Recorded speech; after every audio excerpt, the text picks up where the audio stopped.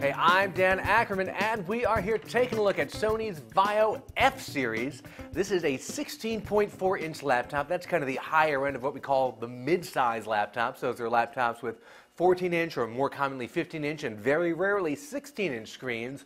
Although the way that Sony built this particular system, it's pretty big even for a 16 inch machine.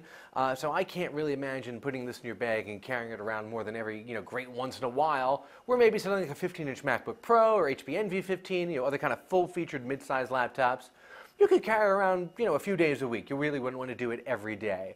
Uh, but this guy probably is probably going to stay, uh, you know, anchored to your desk, uh, and that's why it's a good multimedia and even gaming machine. Uh, it's got a full 1080p display. It's got a Blu-ray drive. It's got decent NVIDIA graphics, and of course, it's got that great Sony keyboard. It's a backlit keyboard, and uh, you may not be able to tell under these big lights. It's actually one of the brightest backlights I've ever seen on a keyboard.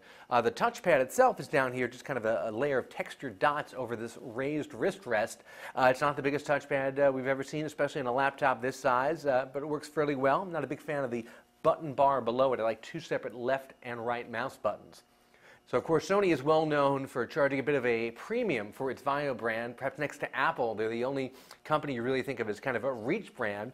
So this uh, Vaio F series starts at uh, about 1050. Our particular build out here with an Intel Core i7 CPU is about $1,400. Of course, if you drop out some of the options, you can bring that price down. But that puts you in about the same category as some of those high-end 15-inch uh, uh, full-featured laptops like the Envy 15 or like Dell's um, XPS 15Z, but still a lot less expensive than a comparable 15-inch MacBook Pro. I'm Dan Ackerman, and that is the Sony Vaio F Series.